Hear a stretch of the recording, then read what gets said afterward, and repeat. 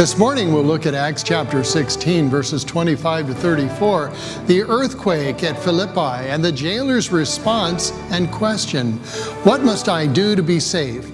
We'll ask our own question Is faith doing or is faith receiving? Grace, mercy, and peace be yours today from God our Father and from our Lord and our Savior, Jesus Christ. Amen. This morning we're looking in Acts chapter 16, verses 25 to 34.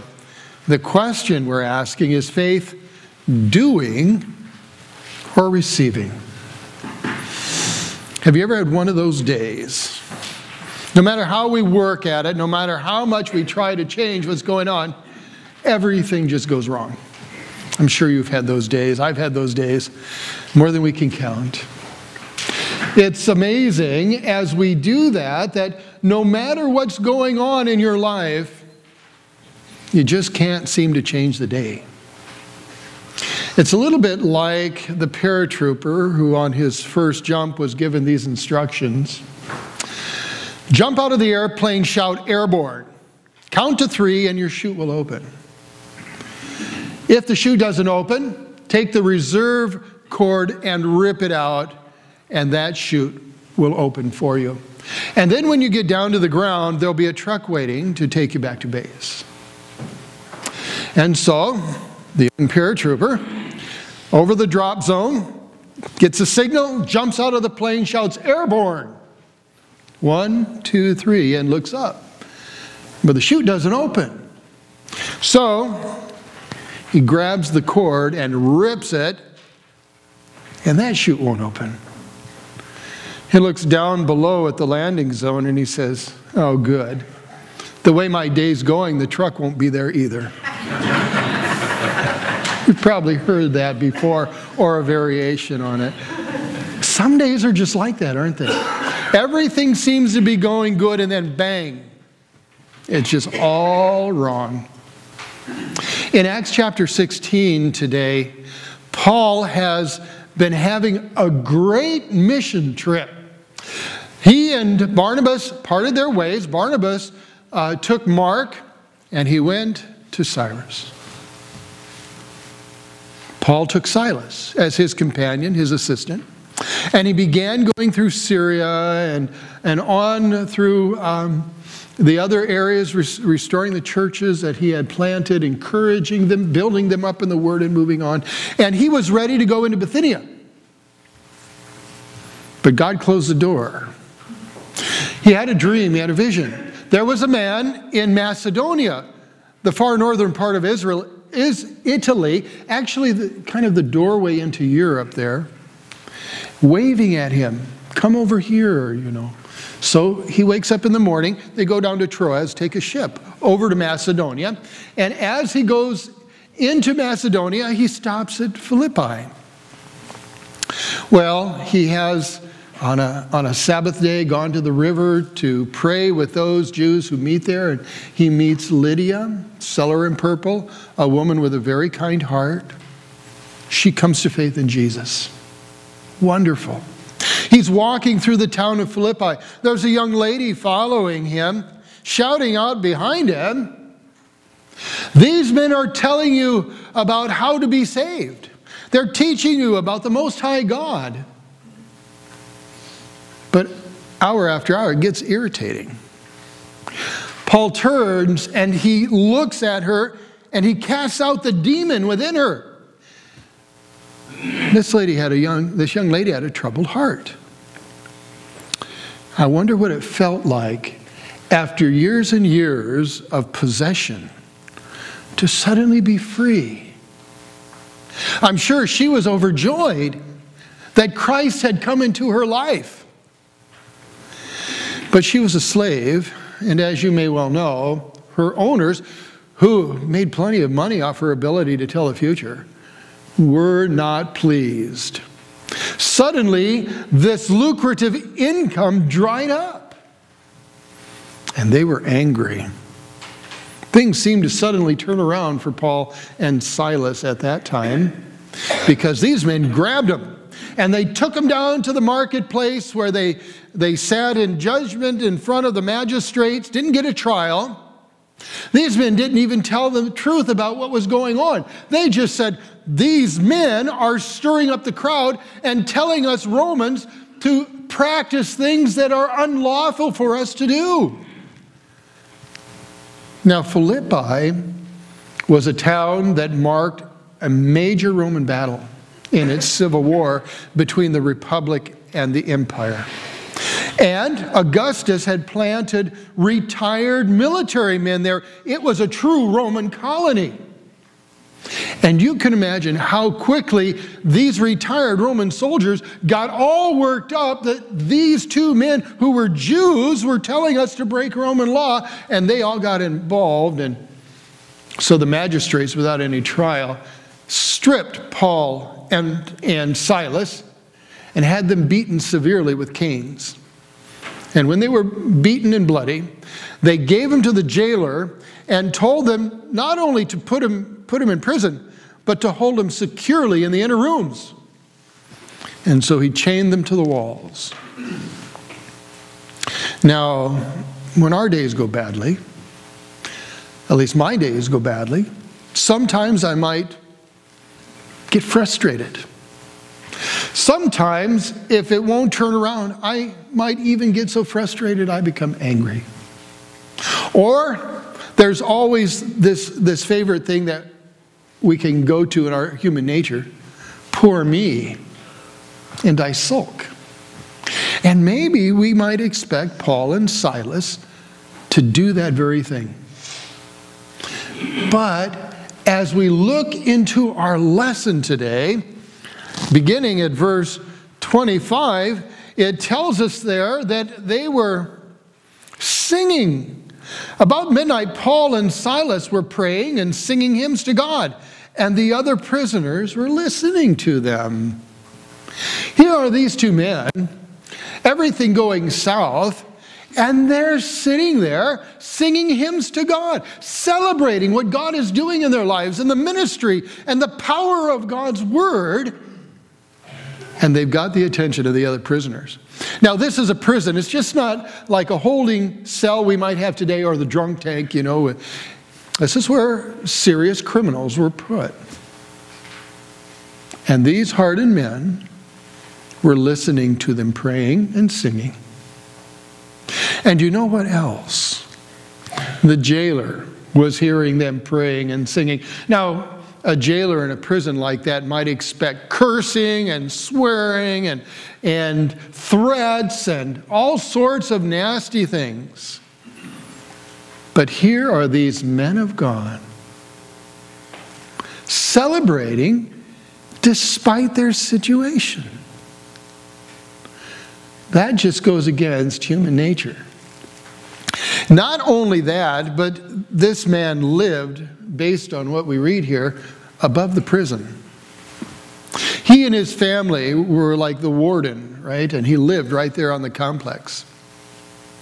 He might very well have not only heard them in the jailhouse, but he might have heard their singing upstairs while he and his family went to sleep. And then suddenly, something happened.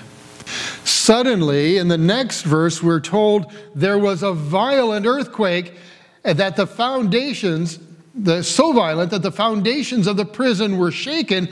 At once, all the prison doors flew open and everybody's chains came loose.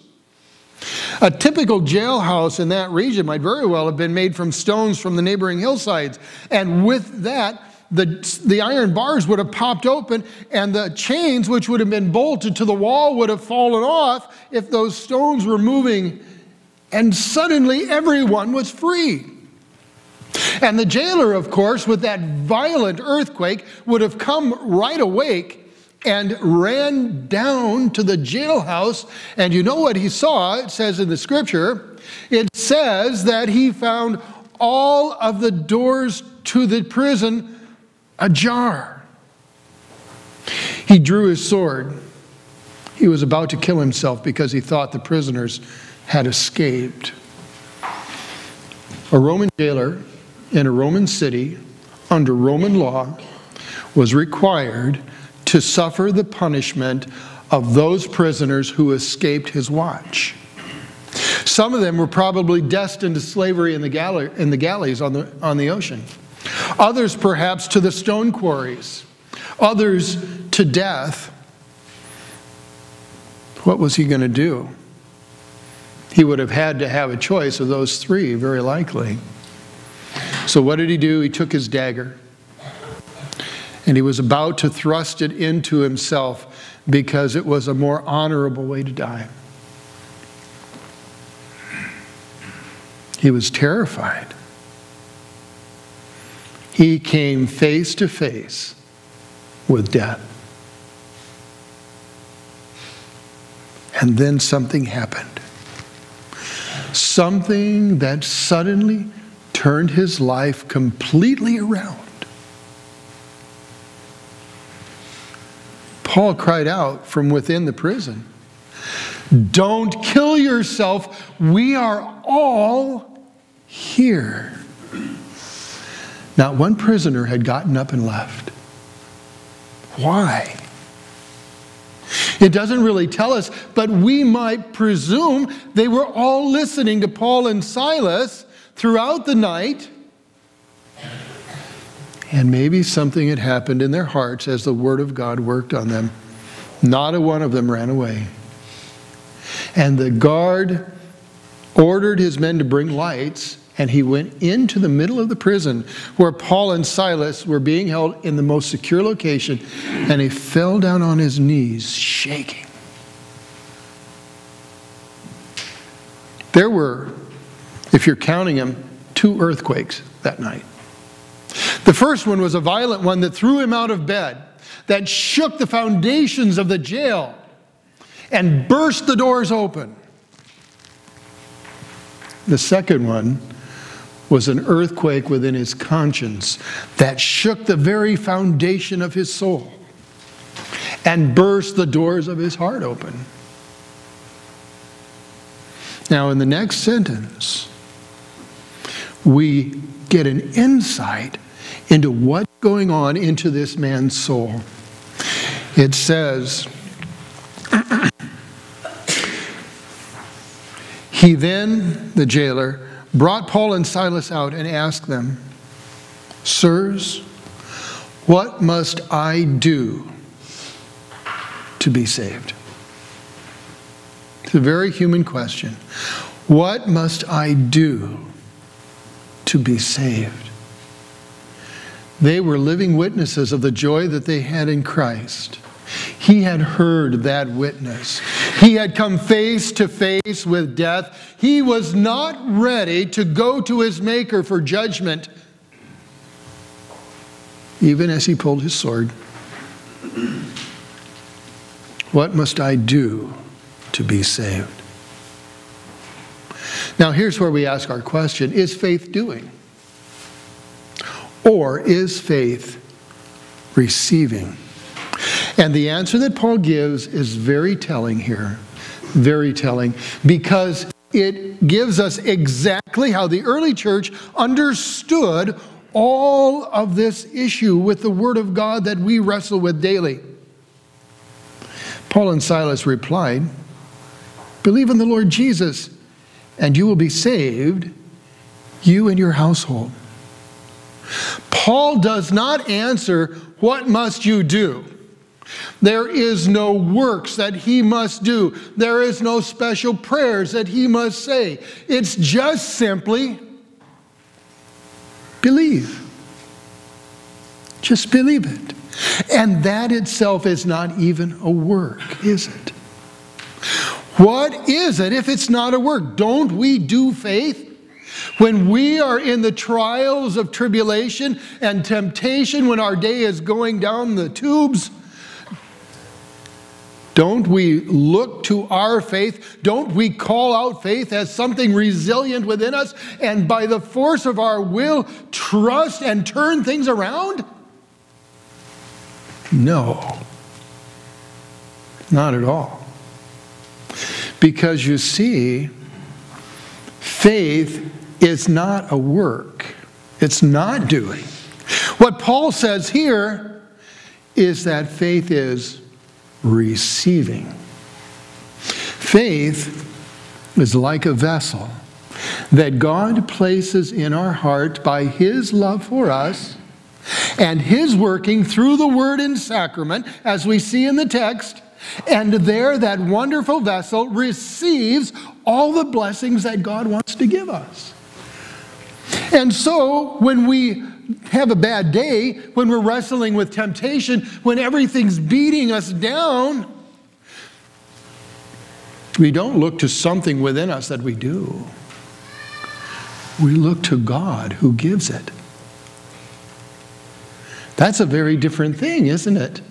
Human nature wants to earn its way into heaven, wants to justify itself by God. And I'm sure if any of us were standing before a worldly judge and we laid out all of our sins, everything we thought, said, done, the secret places of our heart, and he looked at all of us, that judge would probably say, Well, I'm going to order you from the worst sinner to the better sinner.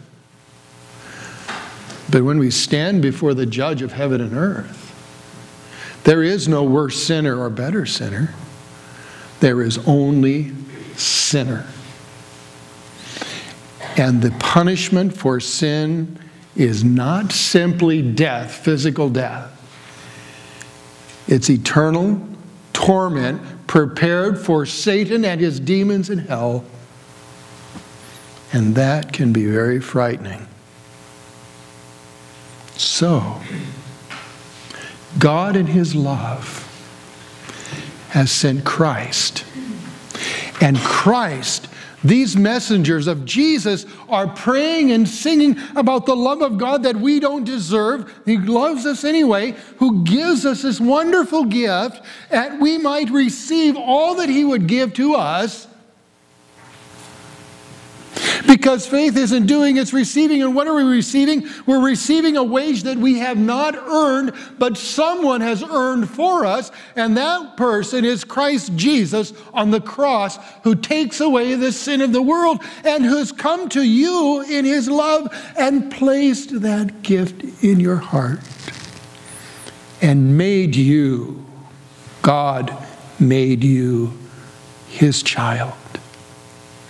And when he did that and you received his love, all of your sins, and let's face it, our sins are horrible, and many were washed away. And you stand in the presence of God in perfect holiness and righteousness, not who you are, but wearing, right, the robe of Christ's righteousness. And God sees you and He sees Jesus, and He declares before the world not guilty. You are not guilty of your sins. And the heart that believes rejoices. And what did that jailer do that night when he heard the word of promise and hope from Paul and Silas? He took them upstairs to his home and he washed their wounds, washed the dried blood off of them clothed them properly, set a meal before them. He and his family, in fact, it says his household even, his slaves, his servants, his children, his wife, everybody that lived and worked there heard Paul and Silas and the wonderful good news of Jesus. And then, like the Ethiopian eunuch, nothing was preventing them. They immediately were baptized. And it says in the text that because of the word that they heard and believed, and because of the gift of baptism that had turned their life around, which was a bad Go, which was going downhill is now being blessed by God. Excuse me, it says that they were filled with joy, not happiness, not happiness. They were filled with divine joy because he had come to believe in God, he and his whole family. There is nothing more wonderful than being of one heart and one faith and one mind, you and your wife and your children. And in this world that's broken and trials and tribulations come, that's not always possible. But there is a greater church there is the invisible church of all who believe in Christ, and that is something to rejoice in. whether you're Macedonian or whether you're Syrian or whether you're even American. For Christ has died for your sins and mine. He has, through faith, made you part of his family. Through the water and the word, you have been gathered together. And because of that, you will never die. You will never die. You stand before God pure and blameless. And God's love for you will bring you at the right moment to be with Him in heaven. Wow, remarkable, exciting. And now, the question that I want to ask you now that you know faith is receiving and not doing has God made you a Paul and Silas in your life? Is there someone in your life that you might, with God's direction, touch with the message of salvation so that God, not you, but God can work in their life through water and the Word? Maybe there is. Think about it. And then, and then rejoice because God wants to use you to be a light of His love in a world of darkness. What a privilege! What a privilege He has given us in Christ. In Jesus' name, amen. We stand for blessing. And now may the peace of God, which surpasses all human understanding, keep your hearts and minds through faith in your Lord and Savior, Jesus Christ. Amen. If you'd like to hear more on this topic or any other, please contact us or join us Sunday mornings for worship at 9 o'clock, Bible class at 10.30.